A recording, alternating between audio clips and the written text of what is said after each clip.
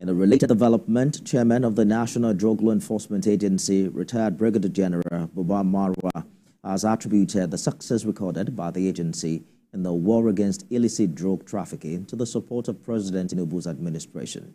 He said this during an inspection tour of an ultra-modern office and barracks still under construction in Yola. Correspondent Ola Biadenusi filed this report. This magnificent structure is the new quarters of the National Drug Law Enforcement Agency. The project was started in 2022 and it has 48 three-bedroom flats for senior officers, 88 two-bedroom flats, and 1,235 one-bedroom flats for junior officers.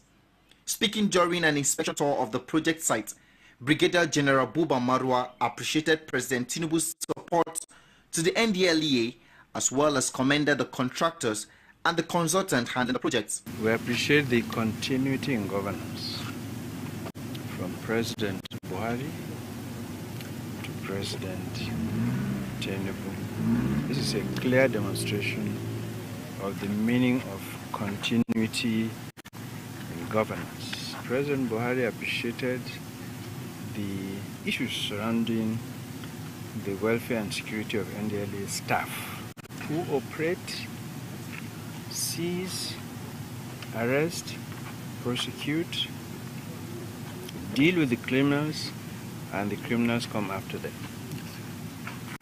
And now we have a barracks for our personnel and their families to be secured.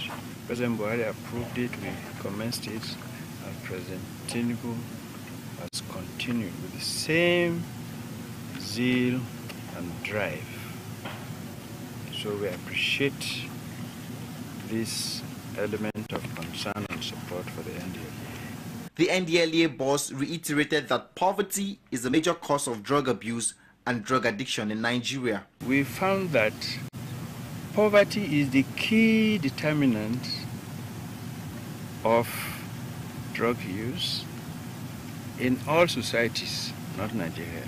So it's important that it's not only Nigeria that has this problem, but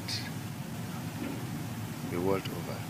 Poverty is a key determinant because with poverty, you are frustrated, you don't have a job, you want a temporary relief, and the people find drugs. He assured Nigerians, officers, and men of the agency that the first phase of the project will be inaugurated before mid-year. This kind of NDLEA quarters is expected to be built in all six geopolitical regions of the country.